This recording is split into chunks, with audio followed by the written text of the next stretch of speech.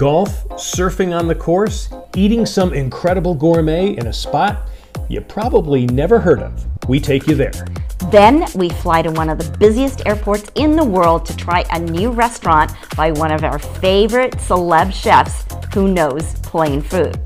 And how about another red wine that tastes expensive, but in some places it's less than $10 a bottle? We get to the root of it all for you.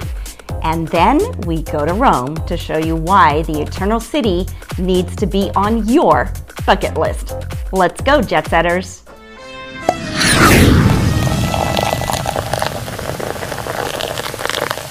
Cheers, everyone. Cheers. And welcome. So, we have plenty of travel, food, wine, and golf for you all over the world. And we begin in South Carolina in Pawleys Island and Murrells Inlet for an elegant and gourmet golf getaway. We've got a weekend getaway for your golf game and your palate.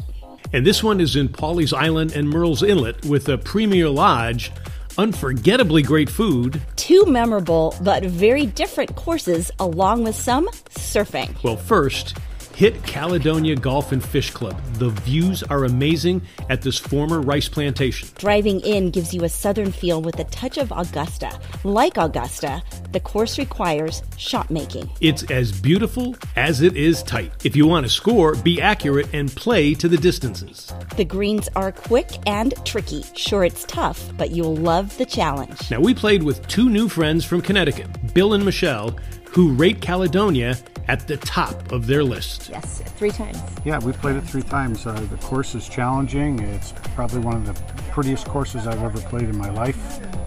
Um, Every hole is a postcard. It's absolutely beautiful. yeah.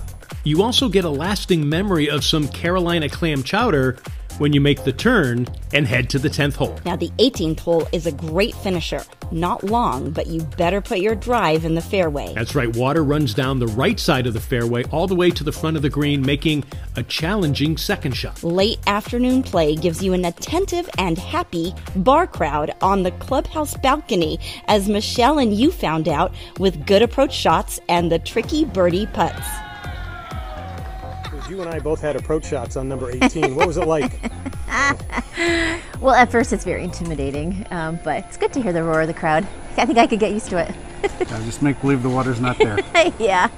And the balcony and the bar restaurant are worth it before and after the round. Try the Caledonia lobster bisque, loaded with tiny shrimp, wishing you had gotten a bowl, not a cup. And then try TD's French dip roast beef with grilled onions and oozing brie cheese. Martha's shrimp plate is a southern favorite with fresh shrimp that are hand breaded and not too heavy. Now, next day, we took our game and our palates to nearby True Blue Golf Course. This is another beautiful, eye catching track, but that's where the similarities to Caledonia end. That's right, True Blue is a grip it and rip it golf course. The fairways are wide open and they are long. You have plenty of room for your drives, but there are some par fives that are 600 yards long.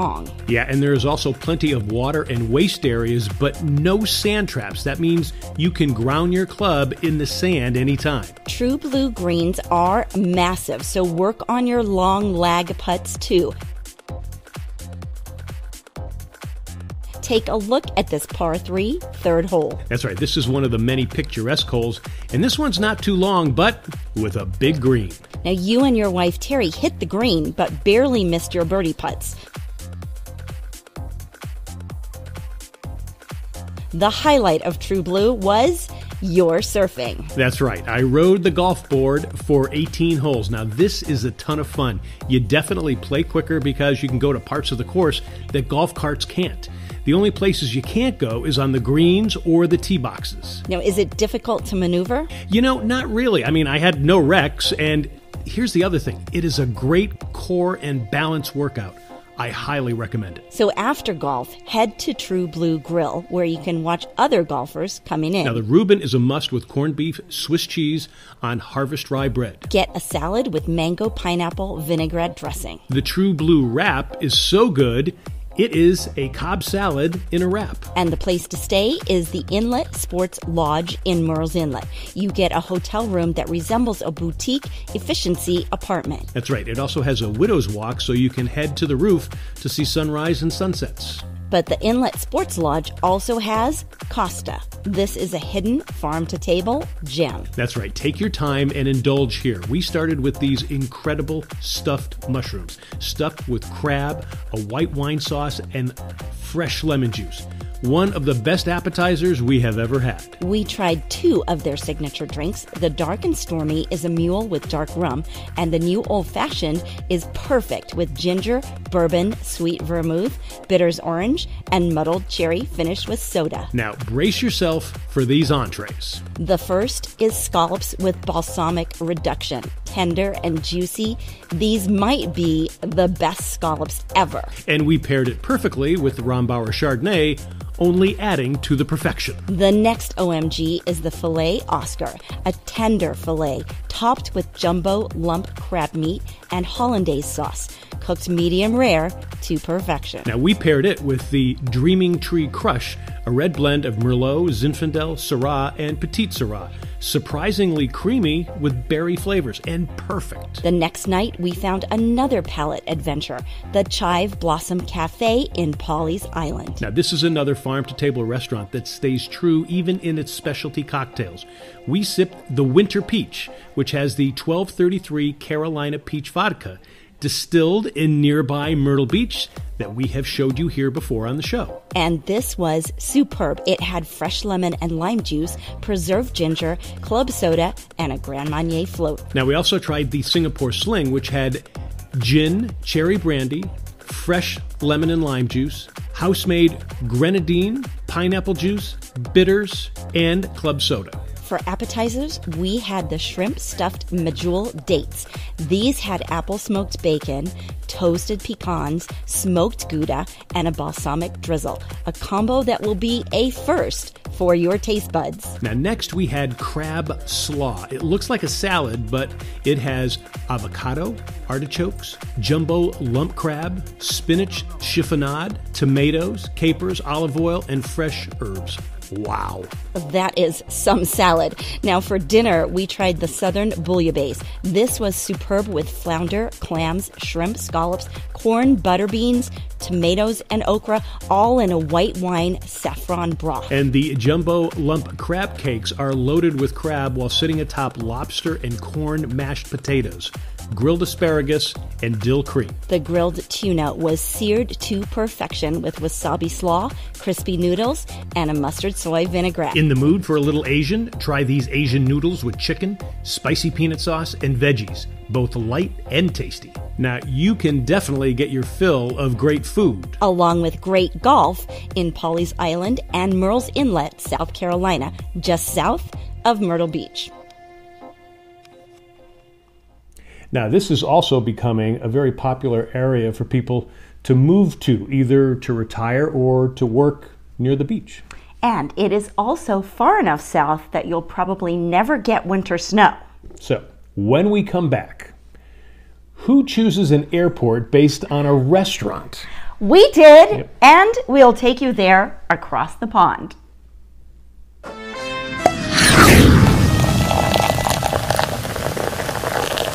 Undercover Jet Setter Welcome is back. booming. We are looking for partners to attract consumers interested in travel, food, mixology, wine, restaurants, and golf. Your business and expertise will be profiled on our shows and online segments that will provide you with valuable marketing tools which you can use on your sites. And your business will also gain exposure to our Undercover Jet Setter global reach of over 120 million across all of our platforms. Drop us a line here and let's partner up together.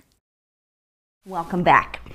We are big fans of Gordon Ramsay, as you know, and he is always breaking new culinary ground. And he did it again at one of the world's busiest airports.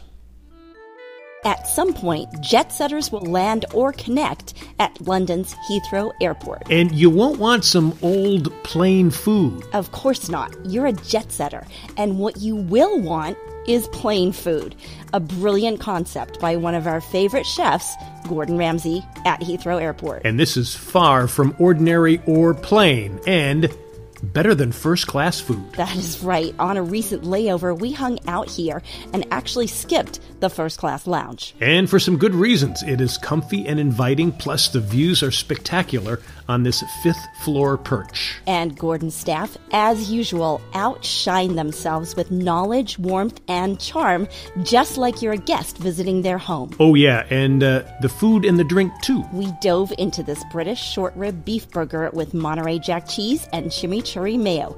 Nothing plain about it. Yeah, that's right. The beef wasn't just a burger patty, but an elegant meatloaf cooked with some onions and other spices. We added a Caesar salad. This was outstanding, tasty, light, and refreshing. The anchovies were superb, marinated in lemon and olive oil. Yeah, even if you're not an anchovy fan, this is worth trying. Besides the food, Gordon serves up some inventive drinks, as usual. And you know, we ate light on this pass through and opted for some specialty cocktails with Gordon's creative touch. The Bloody Mary had Finlandia vodka with very fresh tomato juice and a classic spice mix that seems to have Worcestershire and a touch of horseradish. Next, we had the Hemingway Flies Again, and we think Papa Hemingway would be taking off with this. It is beautiful and it has Bacardi Carta Blanca rum, cherry Marnier, pink grapefruit, citrus, and egg white. It's light and refreshing with a kick, and you could drink these all day. Now, this may be the hit for bourbon drinkers. It's called Make Bourbon Great Again. It had blackberry infused Woodford Reserve mixed with barrel aged bitters and lemon. Now, if you love bourbon, this is worth it. Get it just for the name alone. The bitters and citrus cut through the richness of the bourbon and complement the blackberry infusion perfectly.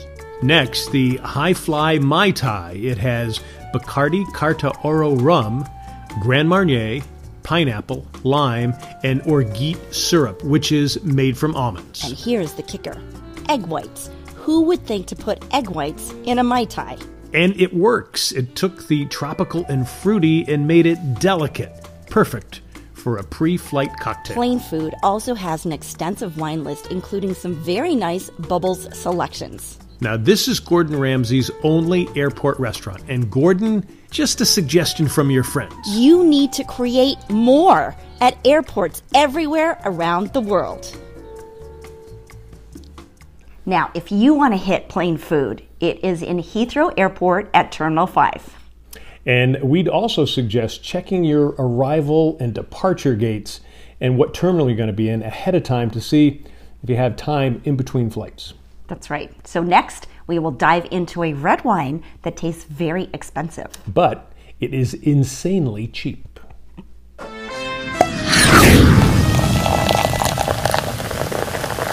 You can find Undercover Jet Setter on Wingding TV, a streaming channel, and so much more. Like us, you can have your own show or channel to promote your business and reach more customers. Because Wingding Media is also a social media and digital marketing giant. Look what they've done for the Ultimate Long Drive Championships. More than a million viewers with 30 licensed partnerships sold around the world. So, check out wingding.tv to watch Undercover Jet Setter or to create something for your own business. In Cozumel, Mexico.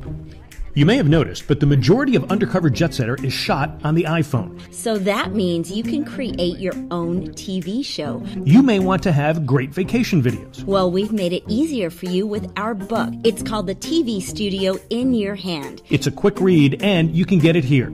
So bring us along for your next vacation video or your new TV show.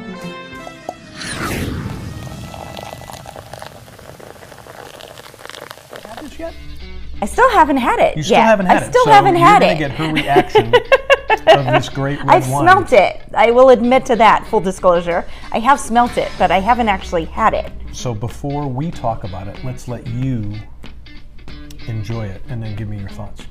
Okay.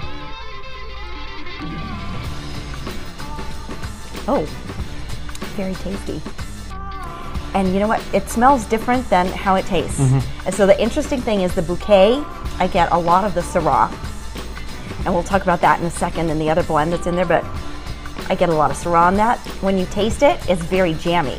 It's got to be the combo of two things, I think, mm-hmm. that's making it that way. And then the Syrah is nice because it kind of cuts through with a mm-hmm. little pepperiness. tones it down, but those other two things together are very jammy. Interesting. One of them is jammy, but it's interesting. So Okay, so this is a this is a 2015 Primal Roots, and uh, the great thing about this is that I've gotten this for seven dollars a bottle.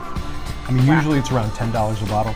This does not taste like a seven or ten dollar bottle. No, not at all. Yeah, no. I mean, you would not ever peg it. I mean, I mean, I would say, you know, nineteen dollars probably, Mm-hmm. maybe more, depending on where you're at. If you ordered in a restaurant, if you ordered this in a restaurant and you had this as their house wine, you would be blown away Yeah. by how good it is. So now we've, we've we've got goat cheese and we've got salmon. So we're going to pair it with them just for you. But I'm going to tell you this right now.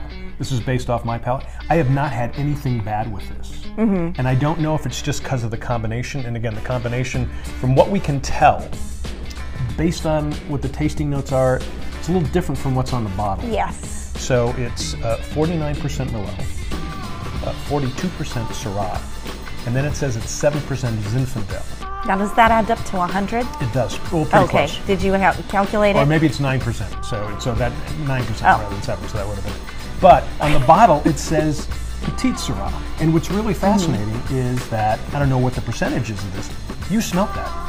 Well, yeah. I could tell petit Syrah, and, and I said, well, it doesn't have petit Syrah in it, so I don't know why I'm smelling it, but it got to be the Syrah because um, there's a definite different fragrance that you get from this. And then when you taste it, it's got this super jamminess, even though it's only 10% Zin. Honestly, I think it's because it's got the Merlot, which Merlot is such a great blending wine. That's why they use it in Bordeaux all the time because it kind of cuts through things and it kind of morphs almost into the other flavors. So I think the Merlot combined with the Zin is what's making that super jammy. But then you can smell the Syrah for sure. And I got to admit, when, when I first told you about this, I said, "Oh, this is a Zinfandel blend."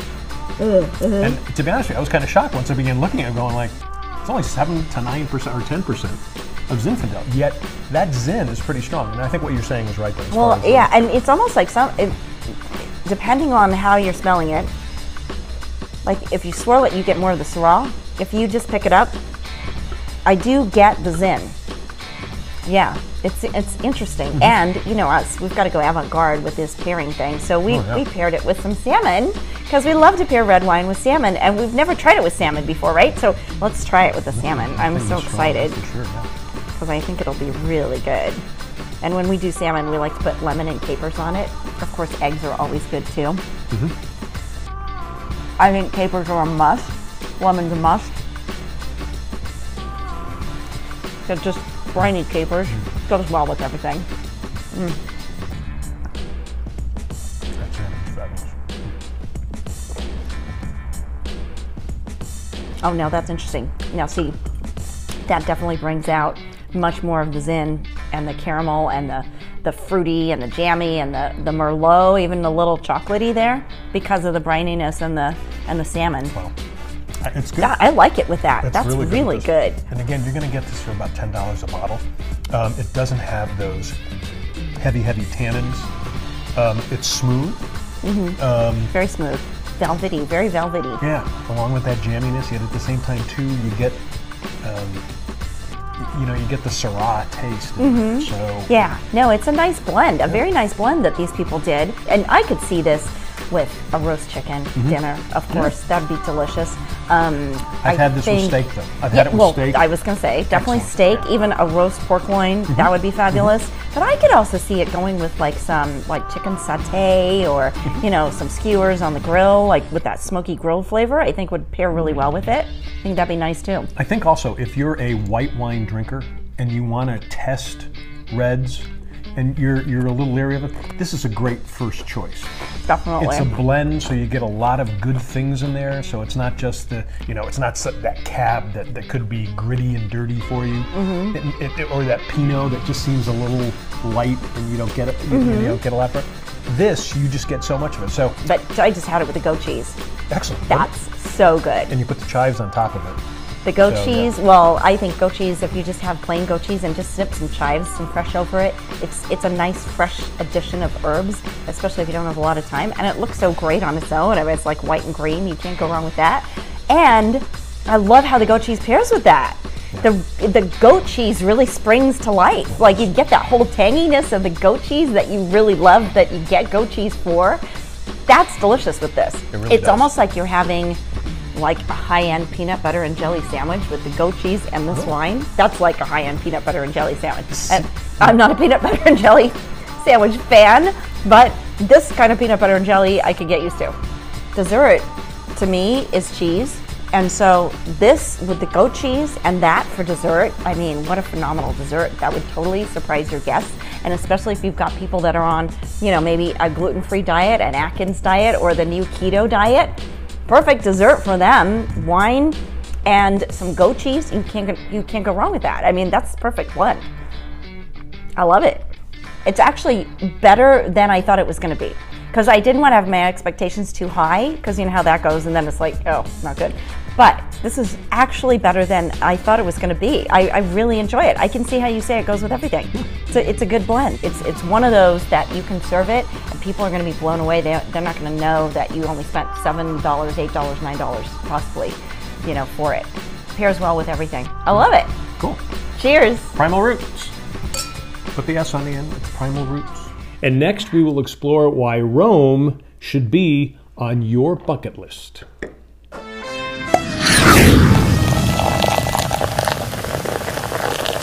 A refreshing and extremely healthy drink to go with everything, try this one. It is called A1C, and it's conceivably the healthiest drink ever made. A1C is the first scientifically designed diabetic drink in the history of the world, and we love it. And it's just not for people with diabetes, although it is great for that. Anyone can enjoy the wonderful health benefits and delicious flavor. Go to a1cdrinks.com to try it and use coupon code JETSETTER1 for a 5% discount. Cheers, jet setters.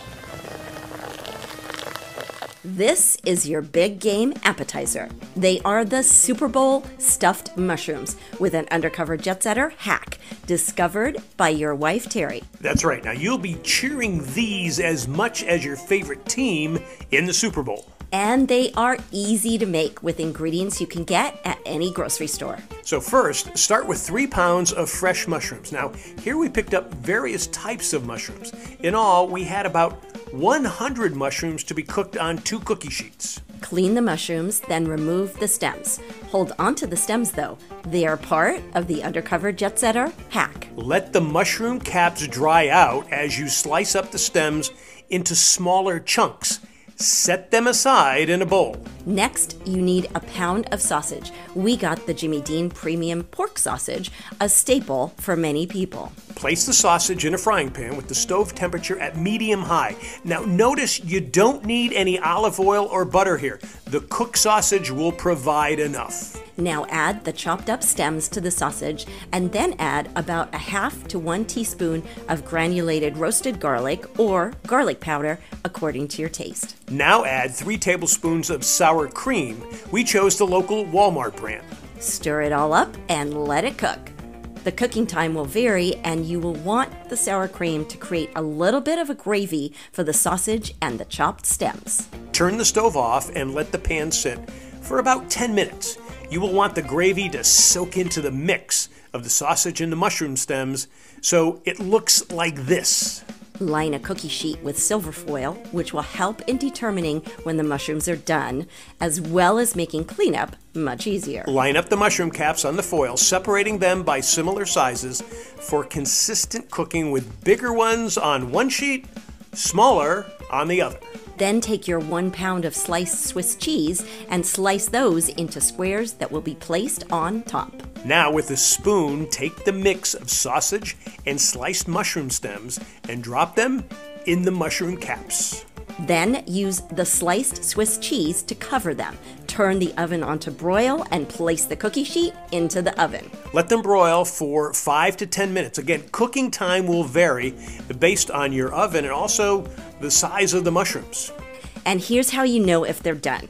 The cheese will be melted down over the stuffing, and you will see drippings on the silver foil, which means the mushrooms have cooked. Now, put them on a dish and line them up to let the cheers begin. The taste is rich and savory. The sausage adds a meaty, slightly spicy kick, while the sour cream provides a creamy tanginess. The chopped mushroom stems add earthy undertones, complementing the savory ingredients. And the melted Swiss cheese on top adds a nutty, gooey finish. You will have these at all of your Super Bowls or any gatherings at home. Enjoy. Enjoy.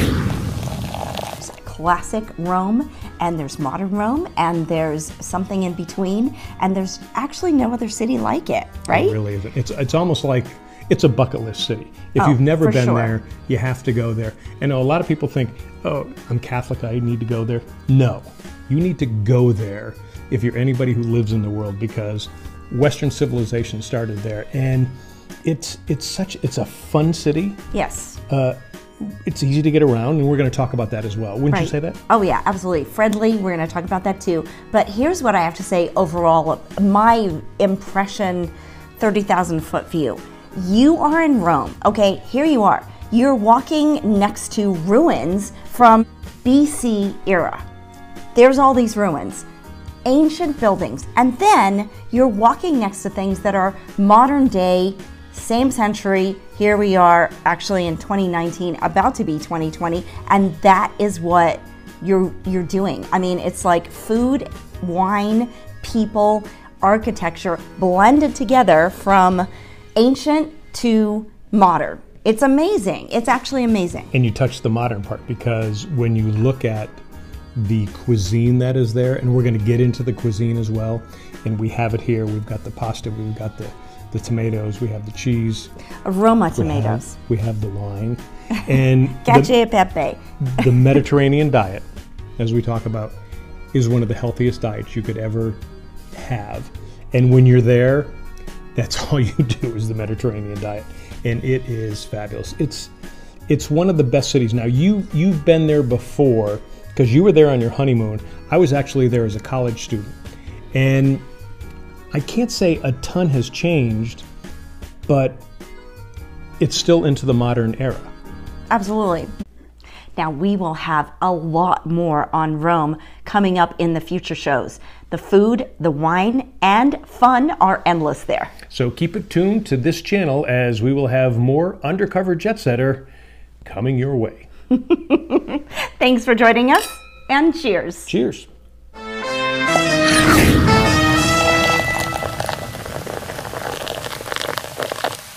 Undercover Jet Setter helps you jet set the world and at home, bringing you travel, food, wine, mixology, and golf.